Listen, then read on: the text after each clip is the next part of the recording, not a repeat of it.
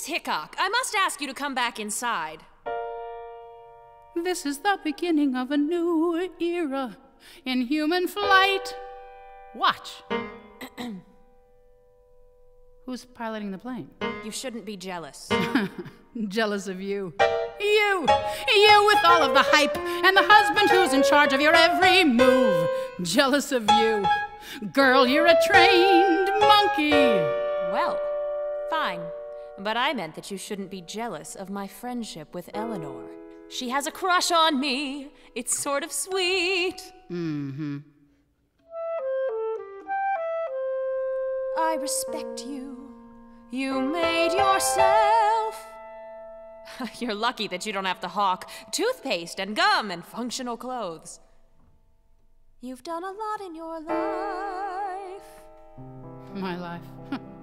My life is going to a Baptist church one Sunday morning down in Atlanta and not having a veil, and Eleanor tying a napkin to my head and me following her into church. My life is wearing a napkin on my head and following Eleanor. Come inside. Why?